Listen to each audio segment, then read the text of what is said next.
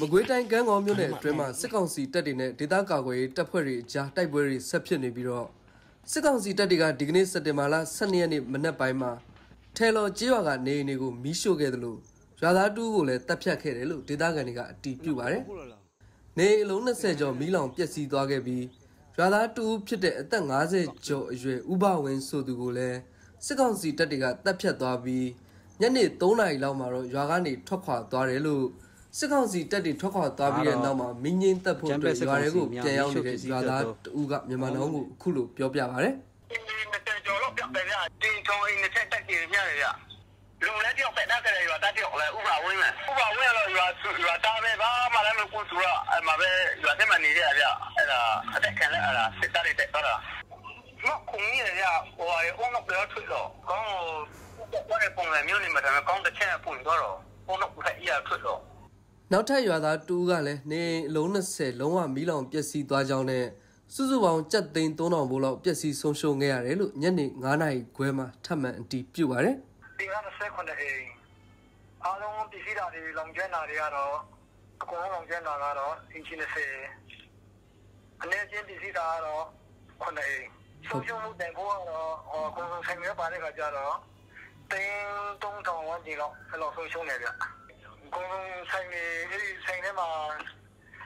ဆိုင်စပါပြီးတော့ရှင်ဝေအဲ့ဒါရောစကားရတာပေါ့ဗျာဆိုင်ကယ်တွေအော်ဓာတ်စီပေပါရင်းနှံပေပါတွေအဲ့ဒီကုန်စုံဆိုင်ရပါတဲ့ဒီဒီမှာဒါတန်ကြီးက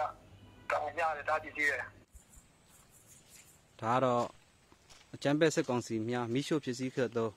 ကံကောင်းမျိုးအင်ဂျင်300နီးပါးနဲ့လူဦးရေ1000လောက်ရှိတဲ့ထဲလော်ကျေးရွာအနီးမှာ စက်တင်ဘာလ12ရက်နေ့မနက်4နာရီလောက်မှာစတင်တိုက်ပွဲဖြစ်ပွားခဲ့ပြီးမနက်6နာရီလောက်မှာတော့စစ်ကောင်စီတပ်တွေကရွာတွေကိုဝင်စီးပြီးအိမ်တွေကိုမီးရှို့ခဲ့တာဖြစ်တယ်လို့ဒေသခံတွေကပြောပါတယ်။အဲ့ဒီတိုက်ပွဲမှာဒေသကာကွယ်ရေးတပ်ဖွဲ့တွေဘက်ကတူးတေဆုံးပြီး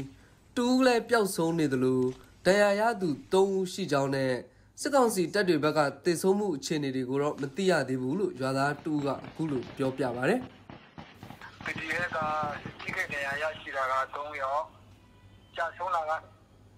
တယောက်မှတော့တယောက်လဲကြာဆုံးလာလည်းရှိနေတယ်နဲ့အဲ့ဒါရှာလို့မသိသေးဘူးဗျဂန့်ငေါမြို့ရဲ့မြောက်ဖက်16မိုင်အကွာကကလေးဂန့်ငေါကားလမ်းဘေးမှာရှိတဲ့ထဲလော်ကျေးရွာကိုစစ်ကောင်စီတပ်တွေဝင်စီးတာအခုဆို3ချိန်မြောက်ဖြစ်ပြီးလူဦးရေတစ်ထောင်နီးပါးဟာဘေးလွတ်ရာကိုတင်းရှောင်နေကြရပါတယ်။အရင်အချိန်တွေကရွာတွေကိုဝင်ပြီးပိုက်ဆံတွေပစ္စည်းတွေယူသွားခဲ့ပြီးတော့ အခုတစ်ခေါက်မှာတော့အိမ်တွေကိုပါမီးရှို့သွားတဲ့လောက်ရက်အပေါ်ထဲလော်ကျေးရွာသားတူးကသူ့ရဲ့သဘောထားကိုအခုလိုပြောပြပါတယ်။သူတို့ကတော့သူတို့အာဏာရချင်လို့ပြည်သူကို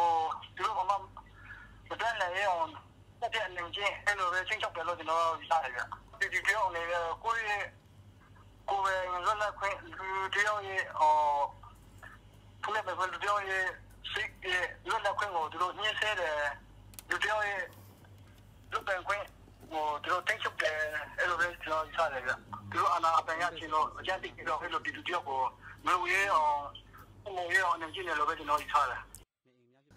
အမျိုးသားညီညွတ်ရေးအစိုးရ NUG က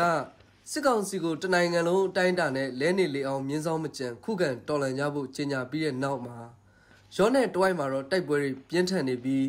စစ်ကောင်စီဘက်ကအ ਨੇ ဆုံးရွာလေးပါကိုမီးရှို့ခဲ့တယ်လို့မြင်းသားကြေးရွာသား18ဦးကိုလည်းပြစ်တက်ခဲ့ပါတယ် ဒေသကာကွယ်ရေးတပ်ဖွဲ့တွေဘက်ကတော့ဒီရက်ပိုင်းအတွင်းမှာဂန့်ငေါကလေးလမ်းပိုင်းကိုအသုံးမပြုဖို့အများပြည်သူကိုထပ်ခါထပ်ခါမြစ်တာရက်ခံထားပါတယ်ခင်ဗျာရဲရွာလူငယ်အဖွဲ့မှာစိတ်ခွေးများမိရှို့သွားတော့လိုက်ငိမ့်တန်နေခြင်းဖြစ်ပါတယ်ခင်ဗျစိတ်ခွေးများမိရှို့သွားတော့လိုက်ငိမ့်တန်နေခြင်းဖြစ်ပါတယ်ခင်ဗျ